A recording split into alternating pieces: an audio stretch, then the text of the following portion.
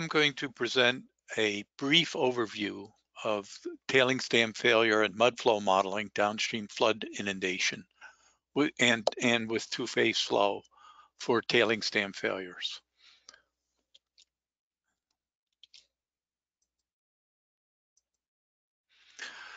I'm going to start by saying that the tailings dam approach um, has a couple of options.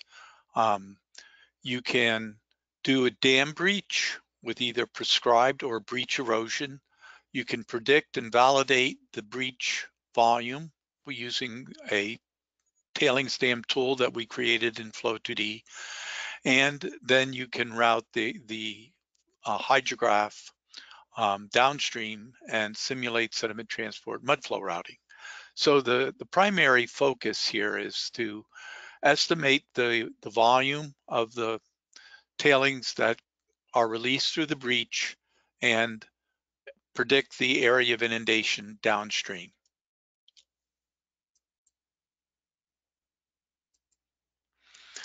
So there are some details that we want to consider in doing this. Um, FLO-2D was the first mud flow model um, that was used for tailings dam breaches. Actually, it was the first two-dimensional mud flow model and went by the name of mud flow at one time. It has a dam breach erosion option that can apply to dam material that's separate from the tailings deposit. In other words, you can have the dam be pre-constructed and store the tailings behind it and have the dam be have core material also. The dam breach can occur through piping or overtopping failure. Um, you can do it with prescribed failure, that is a vertical and horizontal rate of failure.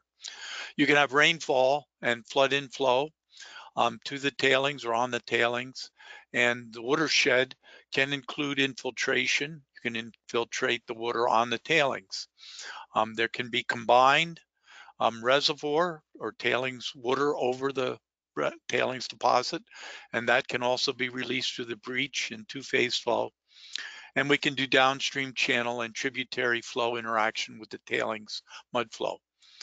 And in addition, um, then we can predict um, the scour and deposition on the bed or the final cessation of the mud flow and do all of this by size fraction. The tailings dam, if we breach it, we can breach it into other um, reservoirs or volumes or tailings dams downstream and have a cascading series of events of failure. So in terms of the actual modeling method by which we can predict the flood inundation, there are two options. One is we can estimate the tailings release volume using the FLO-2D tailings tool. This will generate a breach hydrograph for you and we can route this downstream from roughly the, the dam location. Or we can actually predict the tailings dam scour and erosion with either a prescribed breach or a dam breach failure, and then use the two-phase flow component. Now, in the first option, we're going to do this on the basis of a tool that we created that you can download from the website. It's, it's uh, free. Um, it predicts the tailings, uh, pot the potential tailings dam failure. Um, it will estimate a release volume for you, typically historically. This is between, between 30 and 40, 50% or so. And it will generate a hydrograph, a breach hydrograph data file for you that you can use in the FLO-2D model and route it downstream. So as shown in this image, you're typically a tailings dam failure will not um, encompass the entire tailings dam. In other words, all the material will not go through. Usually only a, a less than half of the volume in the tailings dam will be routed through the breach. Now this particular tool has three failure modes, um, hydrologic, static, and seismic. And it goes through an event tree process by which you add some data to a, to a dialog box and then it will estimate or, or predict for you whether you're going to have failure or no failure. You can select the failure mode to enter the data in, again, hydrologic, static, or seismic. Um, And the output will be to create this inflow hydrograph. So you enter the the tailings dam geometry and the material properties. You enter some factors um, for uh, both hydrology or, or all three, the hydrology, static, and seismic um, conditions in three different dialog box, depending on which failure you want. And then what you generate from this is a hydrograph. Now you can select different shapes of the hydrograph here. You're going to select both a hydrograph and a sediment concentration out of this. And this hydrograph will match the estimated volume from the breach tool. Now the breach tool will estimate the volume in a range for you. Let me go back here for a second. It will estimate the volume in a range for you from um, a high volume, an average volume, or medium volume, and a low volume and so you can have different ranges of uh, and and estimate different scenarios for this. And typically, I use like a um, loaded front end type of hydrograph for a tailings dam, like this one or this one here. These these other hyd um, failure hydrographs are are more of an idealized bell-shaped curve, but um, you once you have the hydrograph, you can manipulate it. The hydrograph shape though is not that critical as it is the, the volume is going to control the downstream area of inundation. The hydrograph volume, the hydrograph shape is more important near the dam and for the first half mile or so. And, and then regardless of the shape, the peak discharge will catch up with the frontal wave and, and the, the hydrograph shape at the release point will not be as important anymore. Now, the second option is to do this uh, dam breach um, failure. And with this, you can either do a prescribed failure with, a, with different rates of failure, vertical and horizontal, or actually predict the scour and erosion of the dam itself and the tailings um, behind the dam with sediment transport and mud flow. So for the sediment transport, there's a choice of 11 sediment transport equations. And if you do sediment routing by size fraction, it will do bed armoring for you. And a typical result will be like this is a channel, but this might be below a dam, um, will be the scour and deposition on the bed below the below the dam itself. So you'll see um, in waves scour and deposition is is something that you would typically um, view um, from a, a, a dam and and this represents more water in this case than than it does mud flow.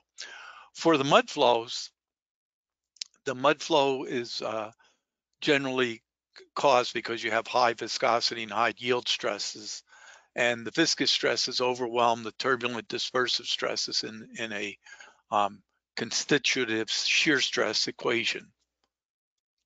So what we're modeling this as is that um, if you have uh, water, it's generally Newtonian flow. Um, a Bingham fluid adds the yield stress to a, a, a, linear relationship between shear stress and, and shear rate or rate of strain.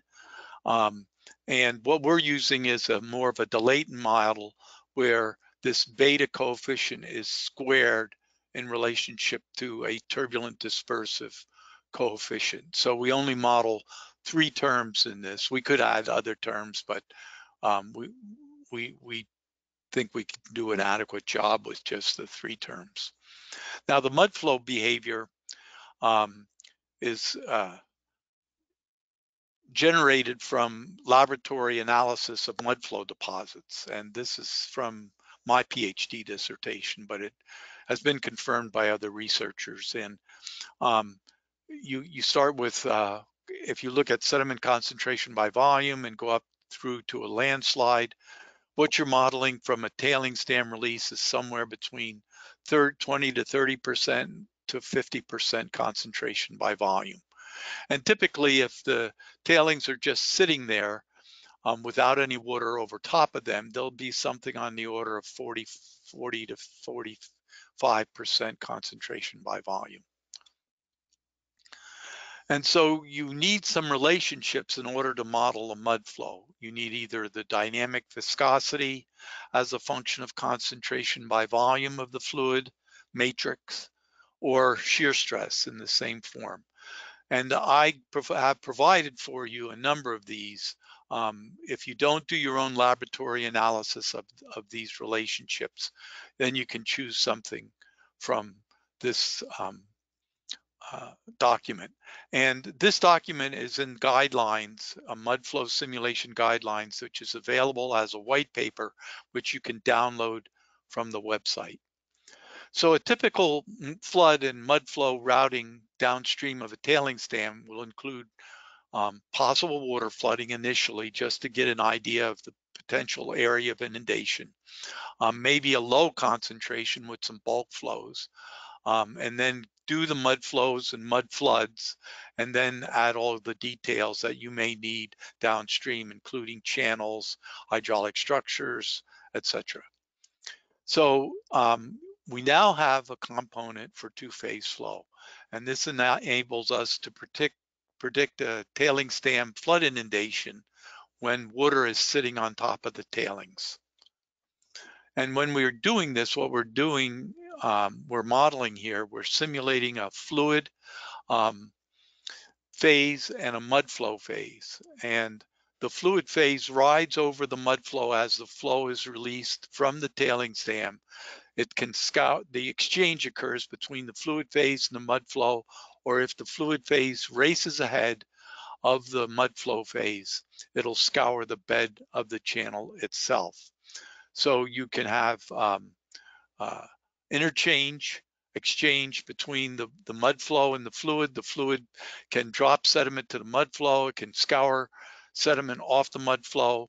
Um, the mud flow, if the fluid gets very highly concentrated, it become part of the mud flow. The mud flow can be diluted as part of the fluid flow and so forth.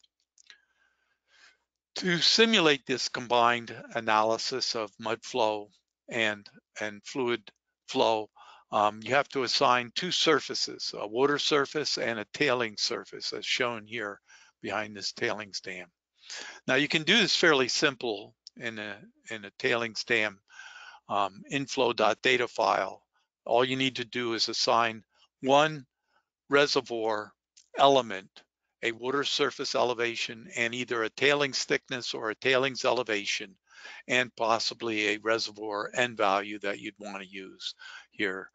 Um, but these two, um, in other words, if the tailings, instead of an, um, assigning a tailings thickness, you could assign the tailings elevation at 313.75 feet above sea level or something. So when you're routing the, the flow downstream from a tailings dam um, release here, you can let it flow into a channel or not. Um, you can have the mud flow come out, the fluid flow come out at the same time. It can race over the mud flow. You can have fluid inflow from a tributary and have other mixed flows moving downstream. And likewise, so you can have inflow hydrographs either to a tailings, which might be here, tailings dam might, which might be here. Um, or you can have um, more fluid enter the stream anywhere downstream. Um, and this could result in overbank flooding, return flow to the channel, and combined mud flow and uh, fluid phase downstream. So in the process of the two-phase flow approach, we can do mud flow cessation and remobilization. The fluid layer or, or um, fluid flow can race ahead over the mud flow layer. The fluid layer can pick up or drop sediment to the mud flow layer. Um, the, the, sediment concentration in each layer can vary. The mud flow layer can become more dilute. The, the, mud, the fluid layer can become part of the mud flow layer. If the mud flow layer ceases to exist because it ceased motion, then the mud flow layer can continue, or the fluid layer can continue downstream and exchange with the bed. And we can route the sediment by size fractions and, and simulate bed armoring too. So in terms of maximum depths, um, if we were to plot this very simply, not in a in a graphics package like QGIS or something, but rather just using a simple plot routine.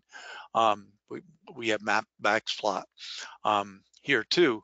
Um, you can plot the fluid um, inundation for the maximum depths and the mud flow. And here you can see that the mud flow ceased flowing downstream. So you can combine these plots, you can plot the velocities and, and so forth. Or you can make a nice pretty picture as shown here too. Um, here's an example of the Brumadinho, Brumadinho failure.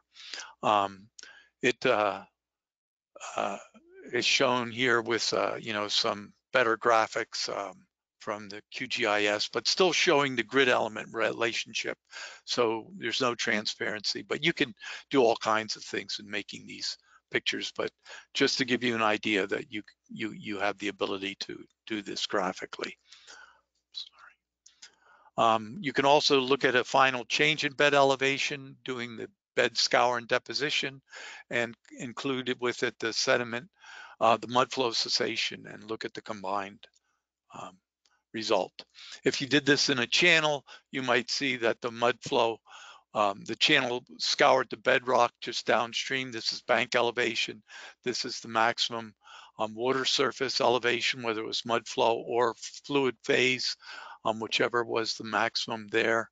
And then this is the change in the bed elevation, and you can see that the mud flow deposited or there was sediment deposition on the bed itself, and it gradually um, decreases in the downstream direction.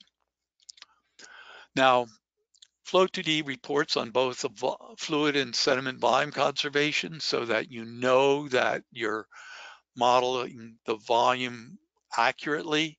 Um, the you can see here that there's absolute zero volume conservation error in the summary.out file, and we have no error to the nearest um, thousandth of a cubic meter in the sediment volume. Now you might have some volumetric error here, but it's usually pretty small. Um, but there, this typically, the, the, the volume in the reservoir that gets routed downstream is, is typically essentially zero. So as a final product, what we want to do is predict the downstream flood inundation or mud flow inundation.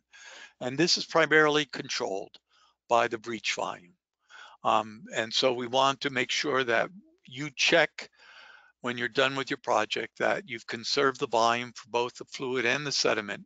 Um, maybe correlate that volume with the tailings dam tool release volume estimate, and then combine the water and tailing dam breach with the two-phase flow model. So this was a brief introduction to this, and now we um, you can go to the website and access our other um, more instructional type of um, webinar, um, PowerPoint presentations and, and videos, as well as other document documents um, on two-phase flow and um, dam breach failures. So I thank you and goodbye.